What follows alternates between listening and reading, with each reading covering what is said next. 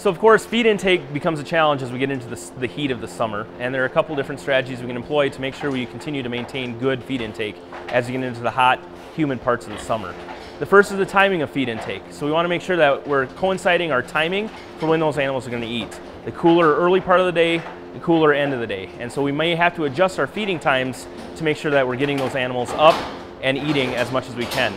The second piece we can look at is our caloric density. We can make adjustments to the feed program to increase the fat, to increase the protein, to make sure that every bite that that sow takes is a good calorie dense bite that can be converted into milk for those piglets as well. But again, we want to make sure that we bear in mind what, what our facility is capable of as we make those changes. We want to make sure that we're not getting bridging in our feed line, in our feed system, or even in our feeder as we increase the amount of, of fat and protein that's in the diet.